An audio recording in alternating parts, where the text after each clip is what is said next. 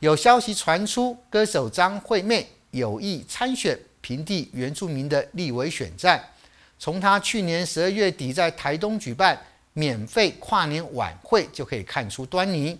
甚至有地方知情的人士表示，有听说张惠妹要选台东县长。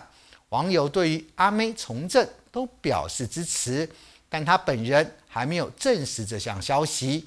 虽然几率不大，但阿妹有没有可能投入政坛，已经引起了各界的关注。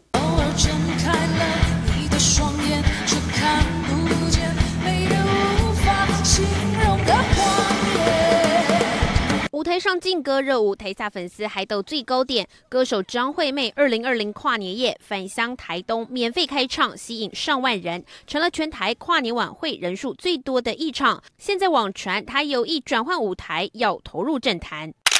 网络贴文写着，可靠消息透露，张惠妹要从政，加上阿妹足籍平地原住民立委六国栋因贪污案遭起诉，被谕令一千万元交保，使得张惠妹可能投入立委补选。但根据中选会规定，平地原住民立委缺额达总名额的二分之一才会进行补选。现在总名额是三个人，所以就算少了六国栋，也不会有补选问题。也是听某位重量人士讲讲的，有听到选县长倒是真的啦。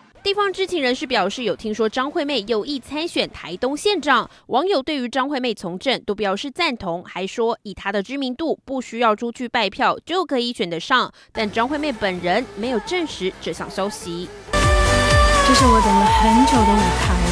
热爱唱歌跳舞的张惠妹，一九九六年出道后，在华语流行乐坛有着极大影响力和地位。虽然几率不大，但有没有可能真如外界所传，转换跑道投入政坛？大家都在等着看。记者综合报道。